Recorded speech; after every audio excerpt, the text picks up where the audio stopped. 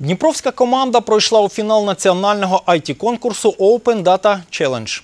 Дніпряни планують створити додаток «Суд на долоні», який допоможе отримати максимум інформації з реєстру судових рішень. Також сервіс на основі наявних відкритих даних і статистики зможе передбачати, яке рішення по справі винесе суддя. На команду чекає ще один відбір. У вересні мають обрати три команди, які отримають інвестиції для розвитку своїх проєктів. З 2015 року для українців відкрили доступ до багатьох держреєстрів. Доступною стала інформація про юридичних осіб та підприємців, декларації чиновників, судові рішення та багато іншої. За сприяння міжнародних організацій, українських компаній та небайдужих громадян з того часу створюється багато сервісів для роботи з відкритими даними. Для запуску свого проєкту не обов'язково мати досвід роботи в IT-сфері.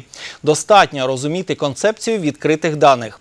Зі своєю ідеєю можна звернутися до представників міської влади, податися на тематичний конкурс або довірити розвиток спеціалістам із IT-інкубатора.